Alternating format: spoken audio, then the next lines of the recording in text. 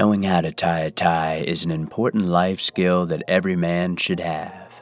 I'm going to show you the tie knot that will suit all your formal occasions. This tie is called the Windsor knot. Don't forget to hit that like and subscribe button. Place the tie around your neck with the wide end lower than the skinny end. Adjust according to your height.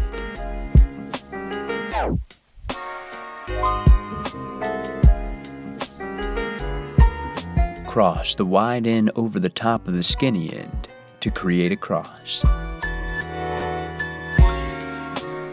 Pull the wide end up through the neck loop from underneath. Pass it down to your left side.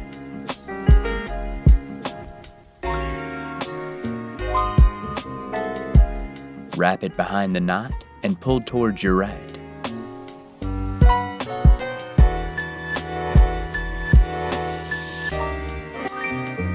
Pull it up through the neck loop.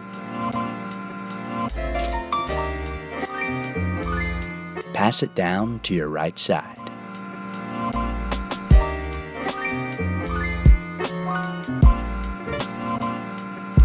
Cross it over the knot towards your left.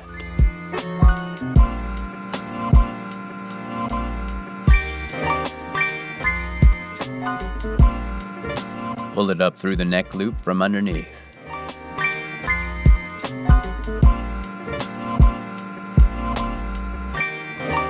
Locate the loop at the front of the knot. Push it down through the loop you've created in the knot.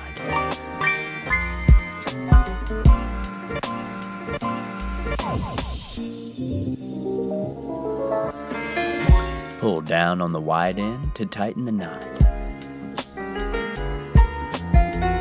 And finally, slide the knot up towards your neck and adjust as you need. No more clip ons and pre tied neckties for you, my friend.